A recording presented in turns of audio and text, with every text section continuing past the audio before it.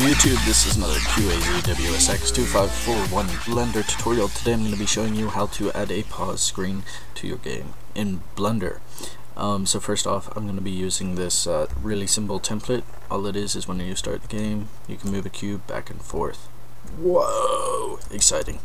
Okay, so um, I'm going to be showing you how to add a pause screen uh, to this. So the first thing we're going to do is you need to download a couple of scripts or you can write these out. So split the screen, change this new window to a text editor and then do a text open text block.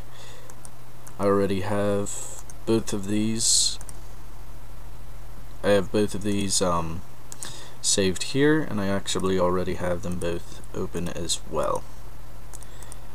Okay, so you can download those, open them both up. After you do that, you can right click on this and we can just join the area back up again.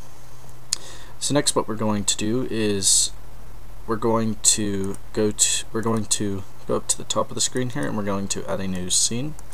We're going to name this one pause.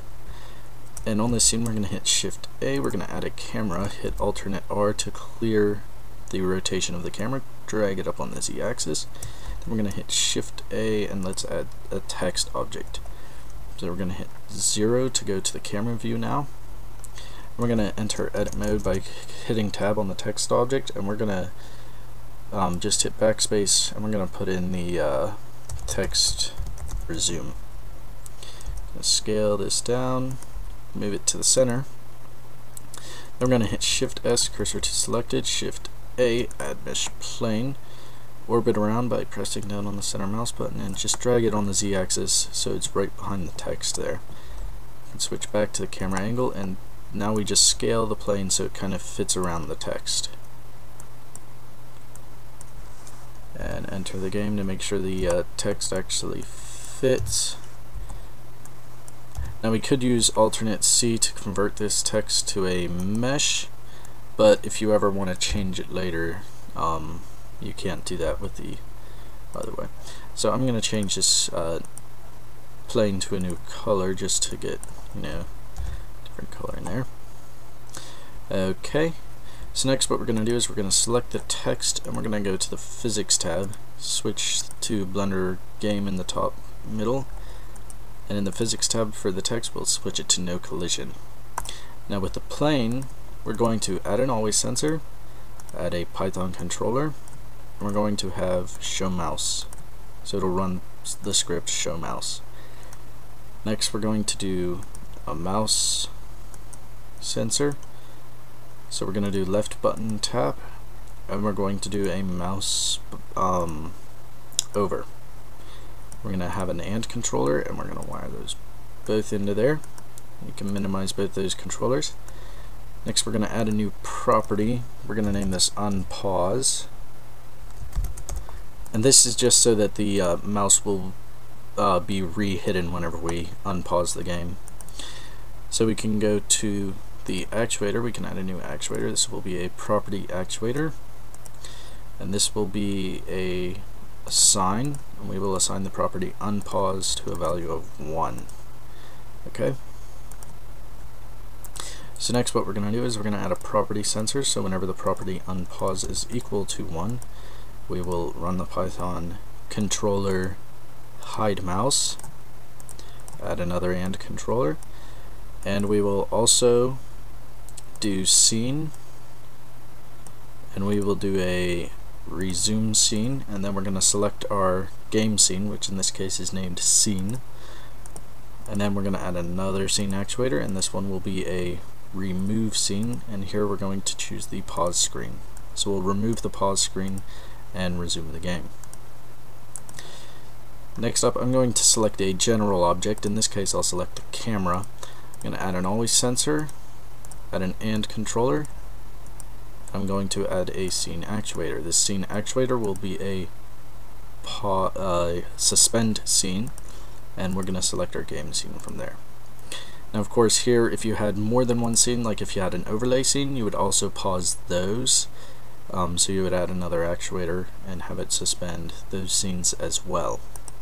Same with whenever you resume, you would also add more uh, resume scene actuators there.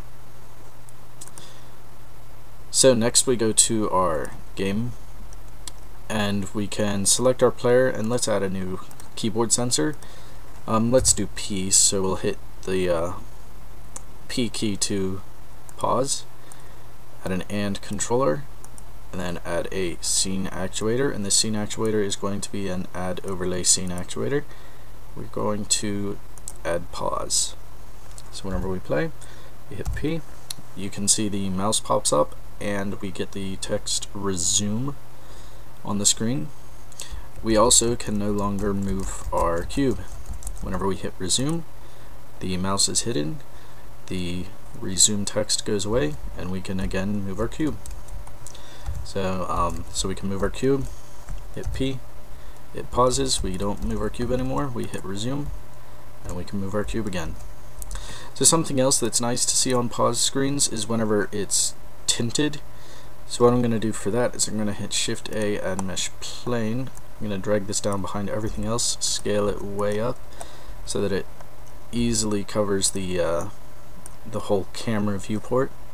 Go to the Materials tab, add New. I'm going to make this pitch black, but then I'm going to go down to the bottom, check Mark Transparency, and turn Alpha down. Um, let's try 0.4-ish. So we'll go back to our main scene. We hit play. Whenever we pause, you see it kind of tinted everything else, and whenever we hit resume, the tint goes away. So we can add more options to our pause screen here by simply selecting the plane and then shift selecting the text. If we hit shift D we can go down. And we can edit this resume. So let's go to let's say main menu. Um, I'm gonna scale this guy down a bit. Hit play and we can see we got um, that guy there so if we select the plane that's behind main menu, instead of resuming the scene, scene we're actually going to do a set scene. We're going to do a uh, set scene and then we could go to main menu. I'm not going to actually do that now. Um, so actually let's rename this to uh, quit. Um, scale him back up now. So what we'll actually do with the plane in the background is instead of set scene we will do a game actuator and we will do a quit game. And we can get rid of that remove scene. So now we go to our main scene, we can play, we can move our cube around, we can pause, we cannot move our cube around, we can either resume or we can pause again and we can